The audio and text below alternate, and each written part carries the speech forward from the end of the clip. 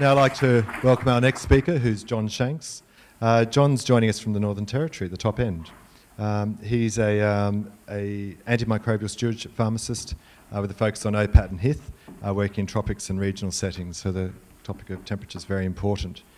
He's previously from the, been from the Blue Mountains area, uh, but now has been in the Royal Darwin Hospital for the last eight years. Uh, he's got a background history in biotechnology, pharmacy, and also IT. Thanks very much. Thanks.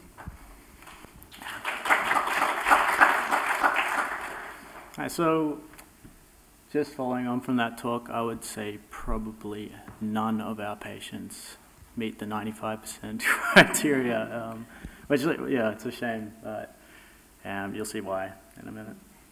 So just to give a rundown of the health service, um, so we probably cover an area maybe one and a half times the size of Tasmania, um, and each of these little crosses is a health centre, and they might be managed by an Aboriginal health worker or by a nurse prescriber, or in some of the lucky, lucky ones, we might have a rural GP or a rural medical officer.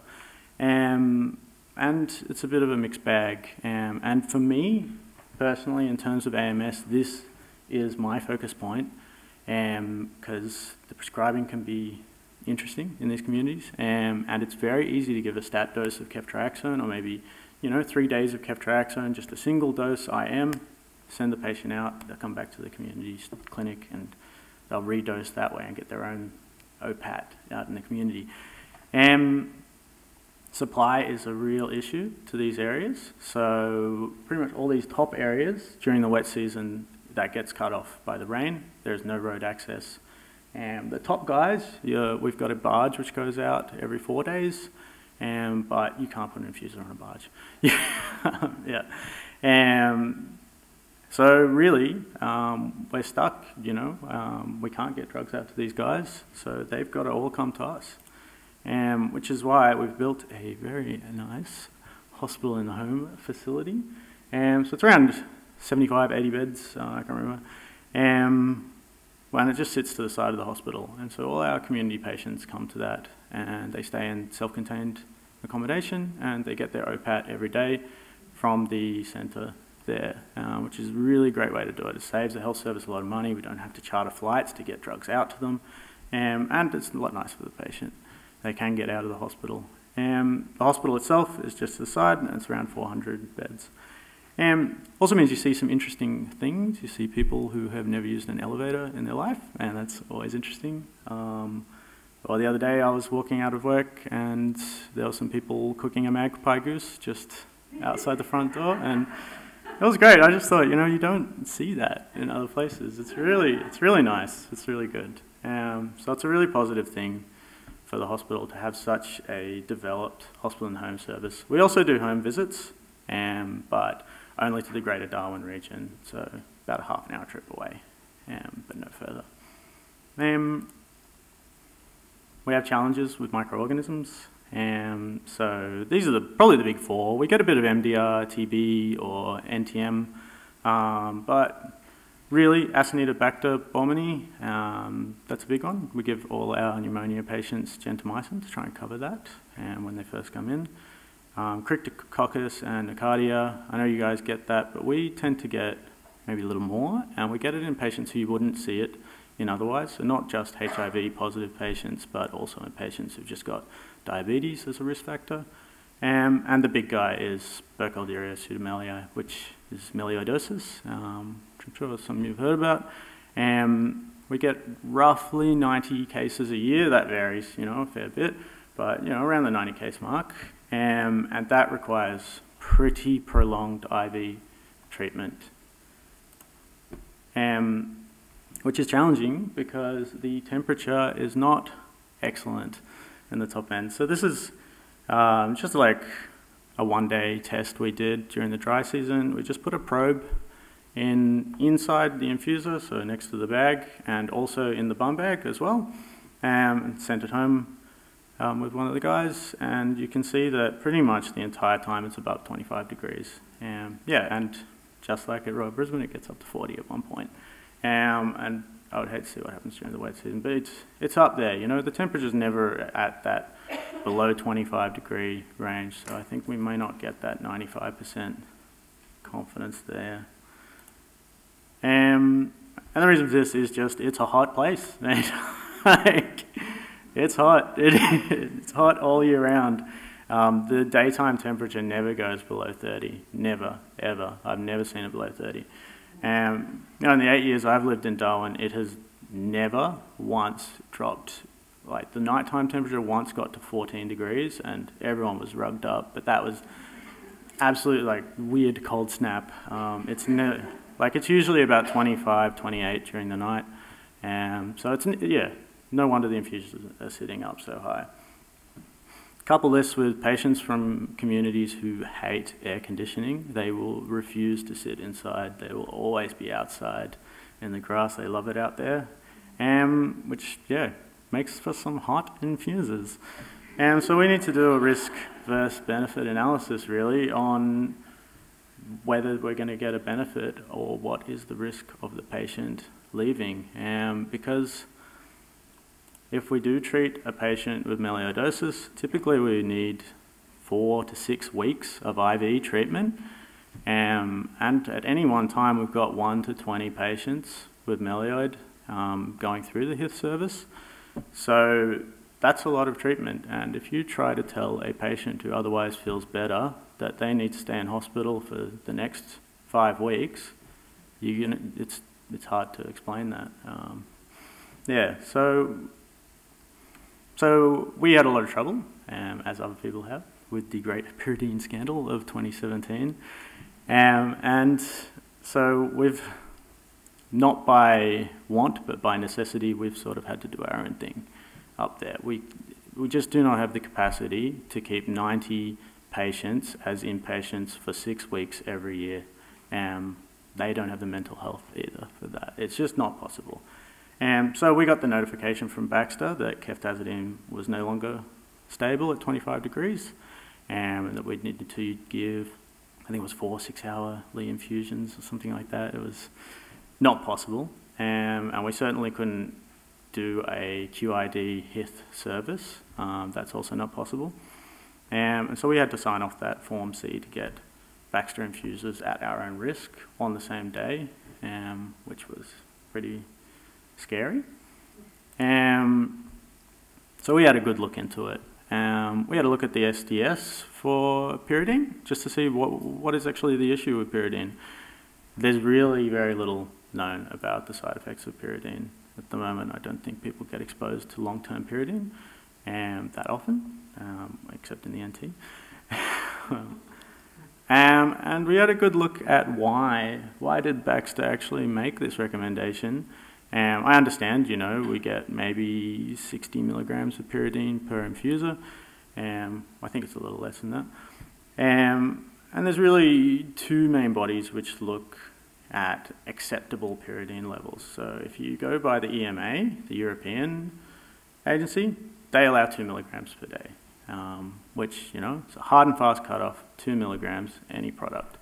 And whereas the USP allows 1.1 milligram per mil.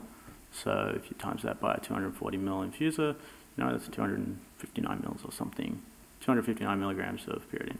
That's a pretty big difference between 2 milligrams and 260 milligrams of pyridine being the acceptable cutoff. That's a big change there. So why is that? And once again, out of necessity, we went with the bigger one. and we actually changed um, manufacturers as well. We left Baxter and we went to Slade, um, who still produce ceftazidime infusers, do not require you to do a Form C, um, and they use the United States cutoff, which is actually 0.75% of the Baxter cutoff. Um, and I know like we're, pick, we're picking and choosing which guideline we'll take, and this really highlights the fact that we need an, you know, an international sort of guideline to say this is the amount of pyridine that is safe and this is the amount that is you know produced in an infuser. Um, but really, we've been doing this for you know decades, um, and we haven't had any treatment failures. Um, and the alternative is a pretty nasty disease. So yeah, I think you know we are definitely taking some risks here, um, and we don't want to be taking these risks, but you've got to be bit pragmatic with this and just yeah do what's best for the patient. I think. Um, so we're still giving um. And we went off this French paper as well when we were coming up with our solution. And this was a really interesting patient uh, paper. And basically says that if you give 12 hourly infuser changes, it'll, it's a bit safer. And that's just going to mitigate the risk. So what we do now is we give a six gram infuser, which goes over 24 hours. And, but we change, we take the remaining infuser off and change it for a fresh one after 12 hours. That way, if the patient goes AWOL, you know, we can't get them at that 12 hour mark, they're still hooked up to an infuser, they'll get the rest of their dose. Um, but if we can, we'll mitigate that pyridine accumulation by getting rid of the, the already hot infuser and, you know, put a cold one on. Um, listen, that's the best we could come up with, so, yeah. Um, we've got a lot of challenges with infuser transport, as I said. So we need to get our orders in by 9.30 in the morning for an infuser to come in the next day, which, you know, can be tricky. Um, this will then take another day to get out to our regional hospitals in Gove and Katherine, um, or, you know, it could be more out to Gove, depends when the flight's going. Um, which just basically means anything with a shelf life of less than 72 hours we cannot use. Um, that's basically. Um, so meropenem and unbuffered cefoxitin off the cards, pretty much for us. Um, we use probenecid a fair bit, um, as you can understand. It's hard to get infusers out to people, um, especially in discharges to community clinics. It's very hard to drug monitor, so I would absolutely love to know what our pyridine levels are in our infusers or what our ceftazidime levels are after 24 hours, but it's a bit difficult um, when we don't measure beta-lactam levels out there. Um, same with amikacin, azoles, and linezolid levels. These take three to seven days to get back, usually from St. Vincent's or Royal Brisbane. We'll send the levels to one of these guys. Um, and it can take quite a while to get the level back.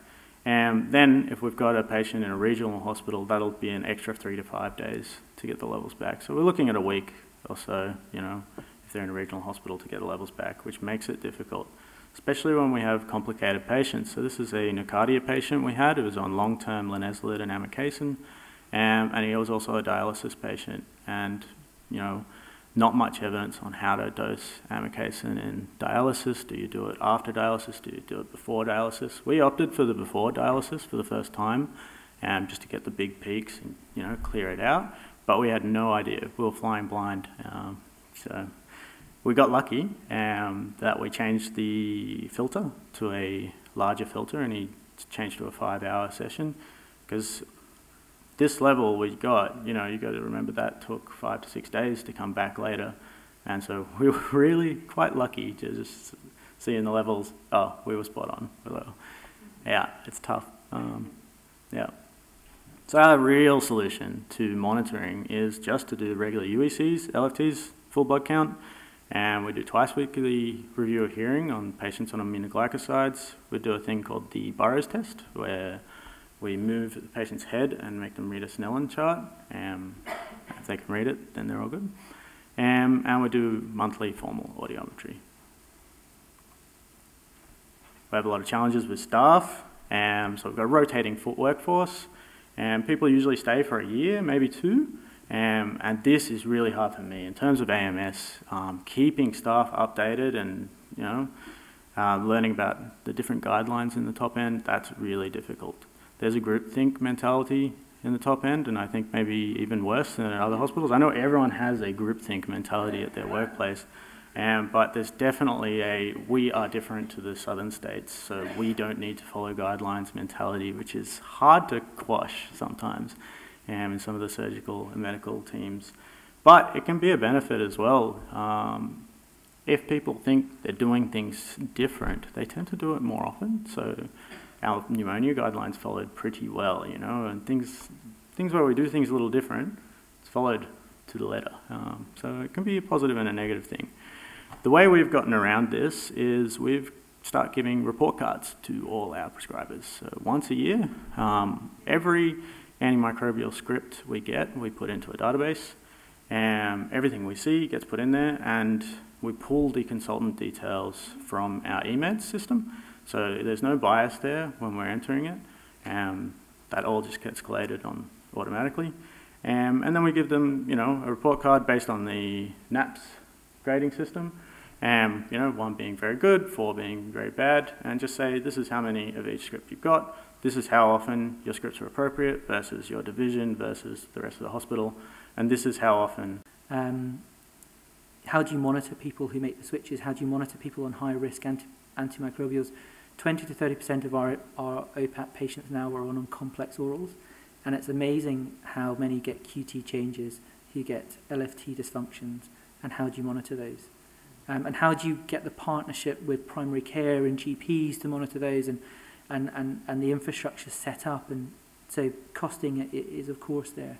But there is a growing evidence for IV to oral switching, whether it's bone and joint, whether it's endocarditis, whether it's um, intra-abdominal infections, whole plethora up there within adults and pediatrics. Um, so we've got to be cognizant of it. Um, and I, I just put this up as a, this was shown to me by one of our colleagues in the UK. And if you look at, you know, ertapenem has got two interactions listed. Okay, but actually if you use Cipro as a step down or alternative, you've got 36. If you use teicoplanin, which you do in the UK, zero.